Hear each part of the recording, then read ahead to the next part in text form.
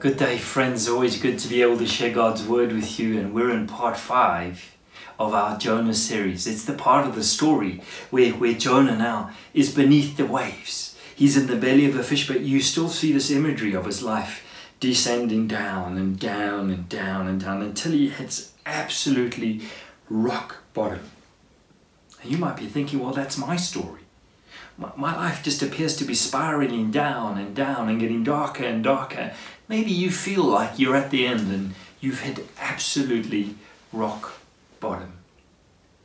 Well, this is an amazing part of the story for you to lean into with faith. Jonah discovers some incredible truths beneath the waves. But it's at this part of the story where there's a turning point. It's pivotal for him. And his life turns around and he begins to ascend through the waters of life and ascend in faith. And if you lean in with faith, it could be a turning point for you. It could be a pivotal moment in your life where you now begin to come out from the bottom and begin to ascend. But, but we must realize with Jonah here, as we learned last week, it's not just when we hit rock bottom. It's not just when we hit the bottom and now we wait for ourselves to ascend. Jonah didn't begin to ascend in faith when he hit rock bottom, but Jonah began to ascend in faith and through the waters of life and began to rise when he prayed at the bottom. And in this prayer at the bottom, in the belly of a fish, he comes to three realizations which he discovers. And these three realizations will resonate with many of you because this is what it sounds like to be woken up by God. Shall we read? I called out to the Lord out of my distress, and he answered me. Out of the belly of Sheol I cried, and you heard my voice. For you cast me into the deep, into the heart of the seas, and the floods surrounded me. All your waves and your billows passed over me. Then I said, I am driven away from your sight, yet I shall again look upon your holy temple. The waters closed in over me to take my life. The deep surrounded me. Weeds were wrapped about my head at the root of the mountain. I went down to the land whose bars closed upon me forever. What Jonah is beginning to realize in the belly of the fish as he hits rock bottom is that life without God is futile. It is pointless. Jonah is in a state of hopelessness and total despair. Some of us might look at this and think, well, that's severe. But what we need to realize is this is what it takes to wake Jonah up. What we need to realize is this is what it takes to wake some of us up out of our slumber of death and our downward spiral, even though at times we might not even realize that we are descending. God would want to intercept that descent and cause you to rise to be seated in heavenly places, to awaken you to the kingdom of God and eternal life. This is what it takes to wake some of us up. This might resonate with some of you. For some of us, it's quite dramatic. It might be a broken marriage where you're hanging on by a thread of a thread. It might be a bad health report which suddenly has just shocked your system and you've realized your need of eternal life. For others of us, it might be an addiction which started off as ecstasy and felt like absolute freedom. But now this addiction has got hold of you, it's got its claws into you, and it's dragged you into a pit of total destruction where you cannot see a way out and you are unable to overcome it by your own strength. Maybe for some it's just a rising tide of financial debt where you're feeling like you're on your last breaths and about to be consumed and go under. Sometimes this is what it takes to wake us up, to, to turn us toward our dependency and trust in God, and not rely on our own schemes and resources to ascend in life. and to unite us back to God. For others of us, it might not be that dramatic, but maybe there's this overarching dullness, deadness, purposelessness in your life where you're struggling to find meaning in your life. And, and so, so you, you, you consume your mind with a whole lot of mind numbing activities, looking for purpose and, and meaning in life, just staring at a screen. And the, and the screen is 42 inches, but that gets boring, so you buy a 54 inch. But that now gets boring, so you need high definition, X definition, and it needs to be curved.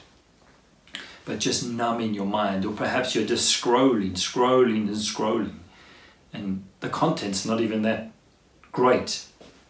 The content doesn't enrapture you, it doesn't invigorate you, it, it, it doesn't inspire you in any way, but you just find yourself mind numbingly scrolling and scrolling and scrolling. What it really is, if you had to ask yourself the question, it's just the comfort of the escape, isn't it? For many of us, that's all we do. We just numb our minds and staring at screens and scroll after scroll after scroll, just escaping we, we just enjoy the comfort of the escape, isn't it? You see, for some it's dramatic, for some it's just an overarching deadness in our lives. But, but God wants to wake us up out of our slumber.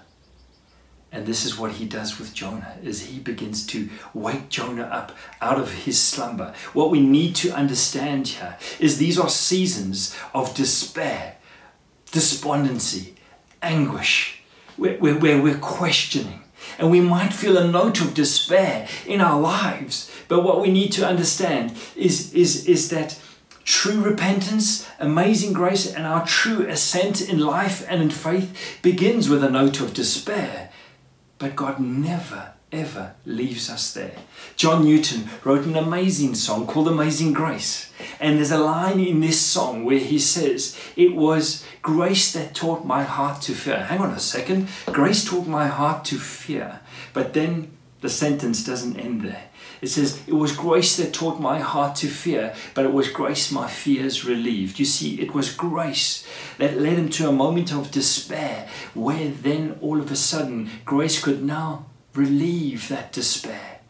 You see, grace wakes us up and it needs to wake us up before it can lift us up. These are moments in our lives which are just seasons of despair, but these are moments in our lives which we can truly embrace because it's a moment when God is turning our lives around and, and, and intervening in our lives, waking us up. We need to embrace these moments because it's through these moments, they are gateways to new life.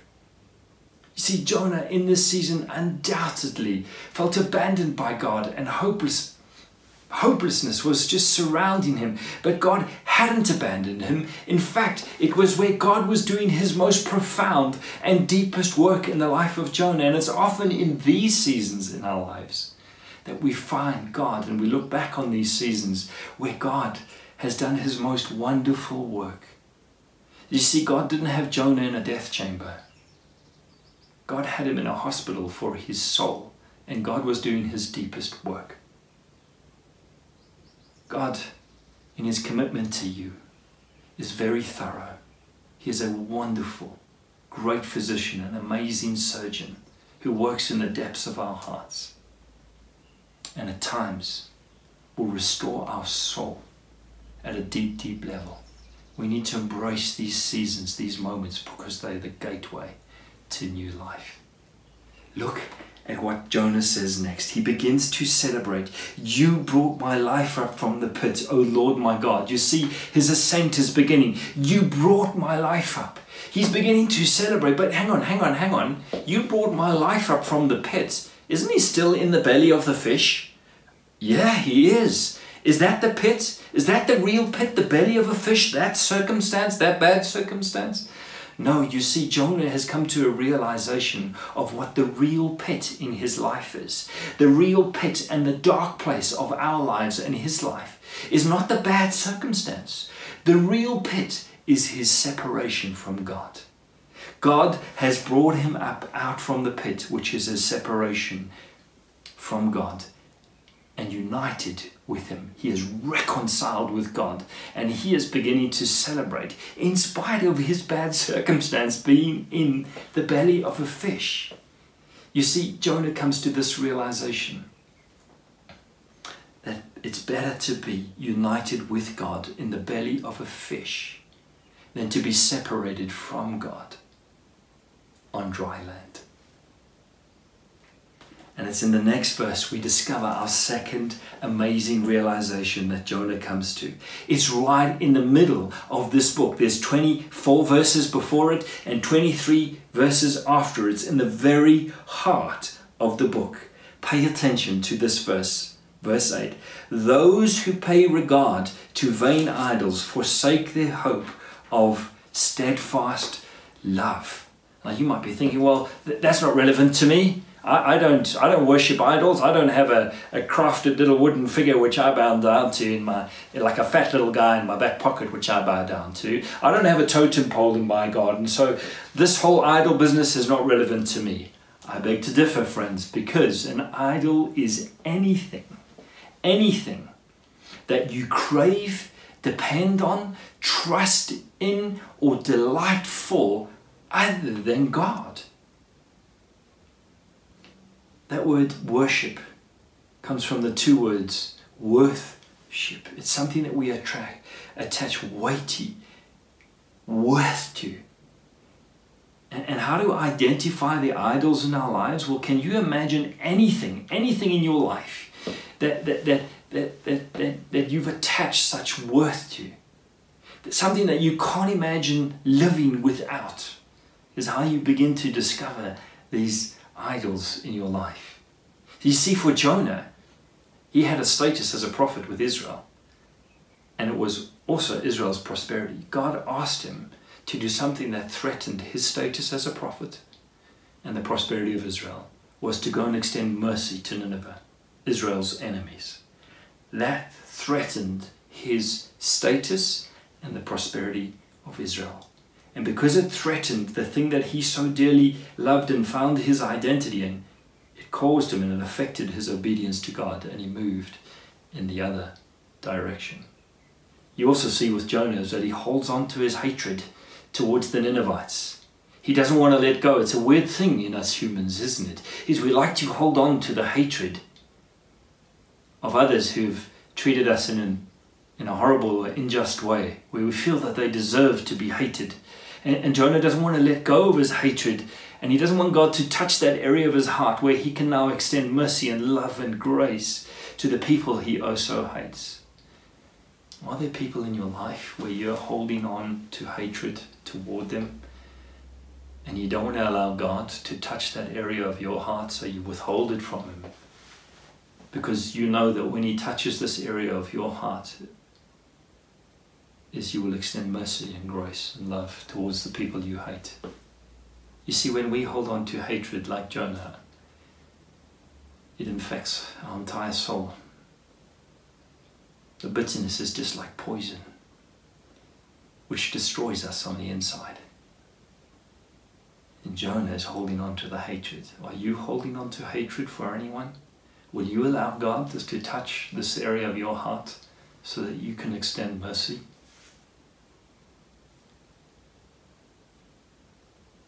And Jonah begins to feel the grace of God touch his heart in this area. So, what is it for you? What is it for you? What is that one thing that you value so much that you attach great worth to, that you can't imagine living without? Is it your career?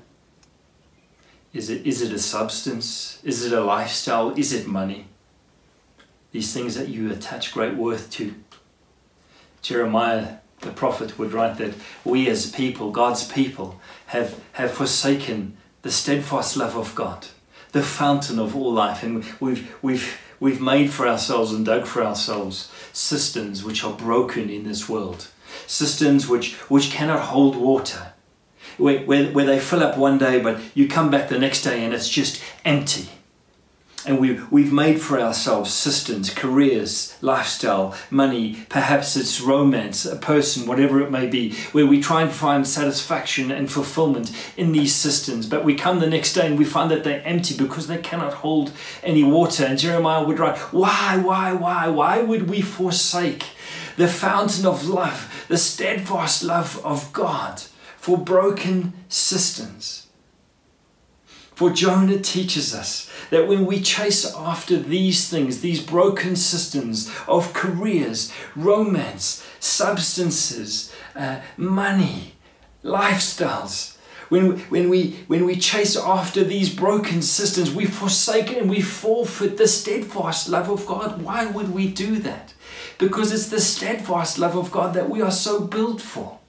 That is what we were made for, is to be reunited with God and to receive his steadfast love. Why would we forsake this amazing love of God that is so vibrant, so experiential, so effectual, and so satisfying for our lives for these broken systems? You see, we get duped by the devil to chase after these things, to think that we could find satisfaction, fulfillment, and love in these. But what we find is when we come to them day after day, it just leads to emptiness. They are empty. There was a CEO of Forbes magazine, or in the Forbes magazine. He wrote a story about how he had been climbing the ladder of success his whole life. He had been seeking success and prosperity he had worked and put all his efforts into climbing this ladder. Only when he got to the top, he had discovered it had been ringing, leaning on the wrong building. You see, for you and I, friends, that's a, a little parable just to remind us. We might be putting all our energy and efforts into something that is leaning on the wrong building. Are you leaning into Christ and Christ alone? The last thing Jonah discovers in this amazing prayer but with a voice of thanksgiving, I will sacrifice to you. What I have vowed, I will pay to you. Salvation belongs to the Lord. Jonah's third great realization is that salvation belongs to the Lord. You see, Jonah comes to the realization whenever we realize something's wrong with us or we hit these seasons of despair, the first thing we try and do is fix it.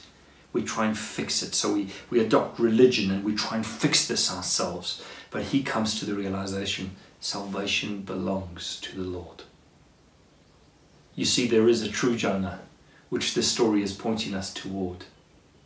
Jesus, like Jonah, went into a season of great despair Jesus, like Jonah, entered into the Garden of Gethsemane where he felt the weeds of sin begin to wrap around his head. He, he felt the bars of death begin to close in on him and the darkness roll in. He went to the cross. And then from the cross, he went down, down, down into the belly, into the depths of hell. And even when he was on the cross, he cried a prayer like Jonah did, except the difference with Jesus' prayer and Jonah's prayer. Jonah prayed and the Lord answered him. But there's only one reason why the Lord could answer Jonah in this moment it's because the Lord never answered Jesus' prayer. He said, My God, my God, why have you forsaken me? He was forsaken so that you and I could be heard. And God hears our cry because He didn't respond to the cry of Jesus because He took all our sin. And He entered into the belly and the heart of hell so that we could be heard. And when Jonah's in the belly of the fish, Note in the midst of those verses, he looks to God's holy temple. He looks to the temple. He looks to the mercy seat of God where blood had been sprinkled all over, where sacrifice had been made so that he could be accepted and could talk and commune with God. We, like Jonah, are to look to the holy temple the cross, the place of amazing sacrifice on our behalf, so that we could be united with God and God can hear our cry in our moments of despair. You see, salvation belongs to the Lord. We're not to try and fix it ourselves. Our first point is to be reunited with God through the salvation that Jesus offers you and I. This is truly an amazing gospel. In your moment of despair, in your life in this moment, do you see those three things? These three foundational truths of repentance. That life without God is futile, it's pointless that pursuing things other than God to try and find satisfaction and fulfillment only leads to emptiness. They are broken systems. Find your fulfillment and your satisfaction and your joy in God. Depend on Him wholly. Let Him be the foundation of your life. And receive, receive the salvation of God that is offered in the cross of Jesus Christ. Look to the holy temple. Look to the blood sacrifice of Jesus Christ, the true one who offers the gift of eternal life. In so doing, you'll begin your ascent in faith and your ascent in life.